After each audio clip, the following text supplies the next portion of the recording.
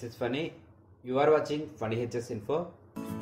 Today I come up with the topic BST safety, which means bulk storage tank safety. In this session, I discuss about the introduction of bulk storage tanks, common storage facilities or practices in industries, types of bulk storage tanks, parts or safety installations of bulk storage tanks, and hazards and safety instructions related to BST. Storage tanks are one of the most common equipment used for storage of petroleum products, fuel oil, alcohol, acids, and a host of different chemicals. Large quantities of chemicals are often stored in tanks either at process plants or storage terminals. Some of the storage practices in industries include liquid at atmospheric pressure and temperature, which means atmospheric storage, liquefied gas under pressure and at atmospheric temperature, which means pressure storage, liquefied gas under pressure and at low temperatures, which means refrigerated or semi-refrigerated storage, liquefied gas at atmospheric pressure and at low temperatures, which means fully refrigerated storage and gas under pressure storage. Next one types of storage tanks. Storage tanks come in variety of shapes and sizes. They are also known as bulk storage containers. Based on the MOC and type of storage, there are different types of storage tanks like fuel storage tanks which are categorized above ground fuel tanks and underground storage tanks. Chemical storage tanks like SS tanks, FRP tanks. Oil storage tanks like floating roof tank, fixed roof tank, bunded tank. And some other tanks are ISO containers, HDPE, MS tanks, IBC drums and MS drums. Coming to the parts of bulk storage tank, this is a basic model of bulk storage tank.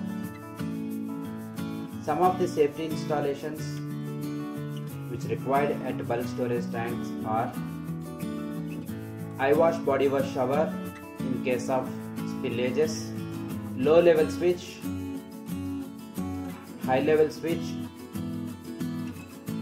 level transmitter for level, breather valve with flame arrestor, sprinkler system for emergency purpose, vent or overflow line, and two inlet line. The identification label which represents the material present inside the storage tank, earthing, empty level switch and bund which is used for primary containment in case of leakage. Coming to the hazards related to bulk storage tanks, there are different types of hazards.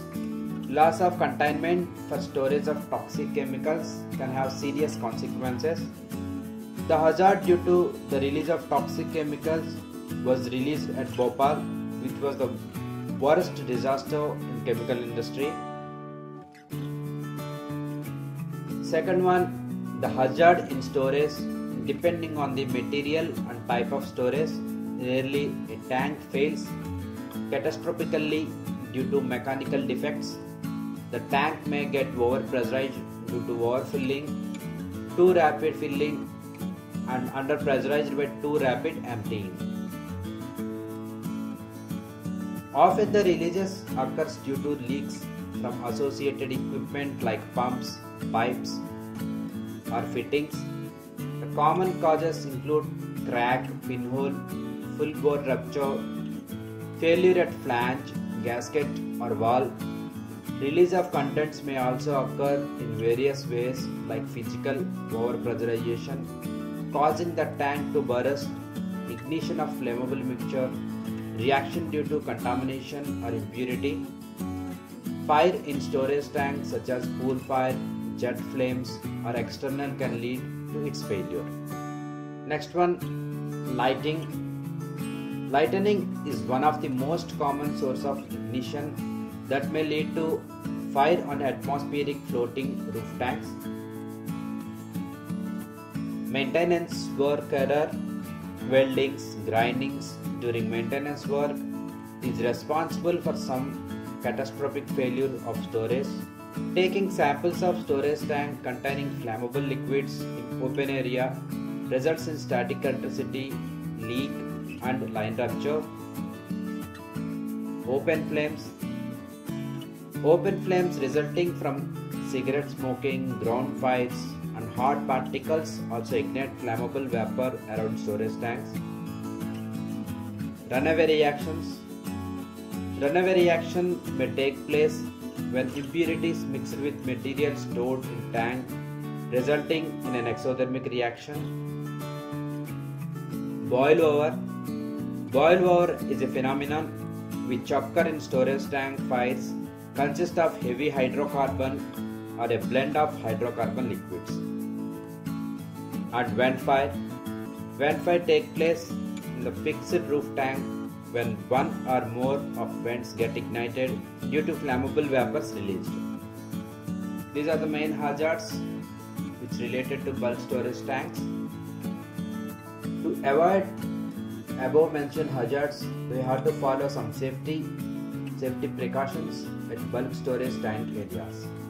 Maintain the tank, pipelines, foundation, pipeline supports, ladders, working platform, toe guards, railing without damage and corrosion. Maintain pumps and gauges in good working order. Ensure vents and breather valves free of obstructions and damage free. Provide safety signages and markings for road tankers. Ensure the level protection instruments like HLS, ELS available and in good condition. Ensure N2 padding is available for flammable solvents, storage tanks and working condition is good.